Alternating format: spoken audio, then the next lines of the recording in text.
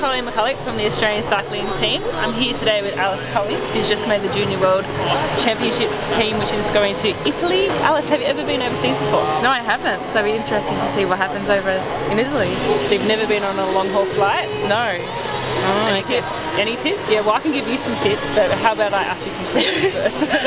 um, so enduro, um, yeah. what do you know what events you're doing? We're not too sure as yet. Um, the team pursuit I know for sure, but other than that we'll see what happens. Okay. You're from Victoria? Yeah. How's, how is it racing in front of the home crowd? Oh, it's great. You've got a um, decent crowd, um, lots of school kids coming along, so it's great to see them supporting the race.